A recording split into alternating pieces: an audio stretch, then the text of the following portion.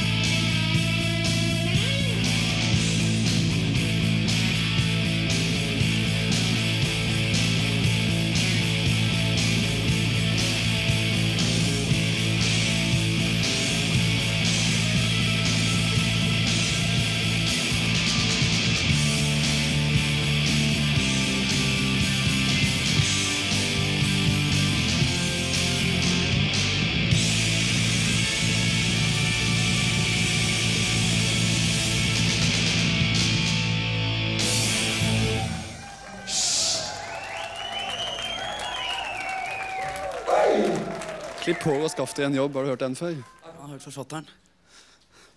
Jeg har hørt mange ganger av fatter'n da jeg var yngre. Ikke noe gærent av han, men Ble det slitsom etter hvert? ja, det ble det. Jeg fikk det opp i halsen til slutt. Er det en jobb dere har nå? Hæ? Er det en jobb det dere har nå? Ja, Backstreet Girls er jobben vår nå. 100% Kjempebehagelig arbeidstid. Ja. Det er bra. Som starter klokka Som starter når vi begynner, vi begynner jo alltid å spille om kveldene, ikke sant? så det er jo topp. Så da kan vi overleve på å drive med det vi liker, og ikke trenge å stå opp klokka seks. Altså. Det er topp. Dere prøver å være ganske kompromissløse egentlig på scenen. Er det viktig for dere? Ja, jeg mener at når folk betaler penger for å se et band, så skal de jo bli underholdt. Altså. Da skal i hvert fall bandet gjøre sitt beste, selv om det kan selvfølgelig ikke være like bra hver gang. Altså. Så skal du alltid gi det du har. Det er klart. Man har litt guffe, litt øs.